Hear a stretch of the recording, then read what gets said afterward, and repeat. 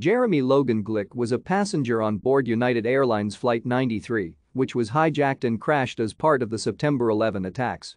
Aware of the earlier attacks at the World Trade Center, Glick and some of his fellow passengers attempted to foil the hijacking. During a struggle to reclaim the aircraft, it crashed into a field in Stonycreek Township near Shanksville, Pennsylvania, killing all 33 passengers and 7 crew members on board. Glick was born into a Jewish family and had five siblings, all of whose names begin with the letter J. He was a middle child among the six children of his family.